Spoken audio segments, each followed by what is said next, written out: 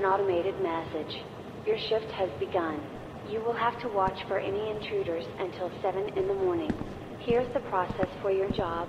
1. Watch for any intruders on the cameras.